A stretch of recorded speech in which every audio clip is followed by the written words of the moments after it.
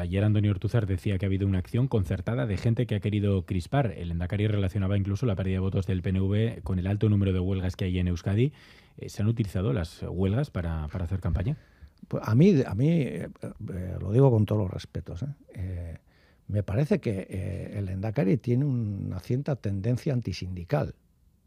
Y esto no es un valor muy democrático desde mi punto de vista. No digo que el Endacari no sea un demócrata, que lo creo pero lo que quiero decir es que es que esto es la pescadilla que se muerde la cola. Es decir, hay como, como dos posiciones. Una es jactarse de que somos los que más huelgas hacemos, ¿no?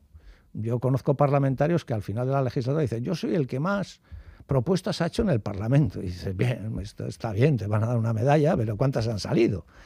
Entonces, eh, no es una posición ni la otra, es entender que la huelga es un instrumento de los trabajadores para mejorar sus condiciones de vida, a los que tienen todo el derecho del mundo. Le voy a poner un ejemplo.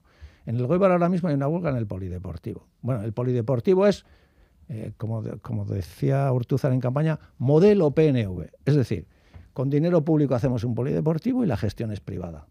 Y en la gestión participa un fondo buitre. Bueno, ahora hay una huelga en el polideportivo. Es que desde el 2011, desde el 2011, no les han subido el sueldo. Oiga, los trabajadores tendrán derecho, no, la obligación de hacer una huelga para mejorar sus condiciones de vida. Entonces, me parece que hay una especie de antisindicalismo que yo no lo comparto. Y en segundo lugar, es la pescadilla que se muerde la mola. ¿Somos un país puntero en el que no caben las huelgas o somos un país puntero porque el país ha sido un país que ha organizado sindicatos y ha hecho huelgas?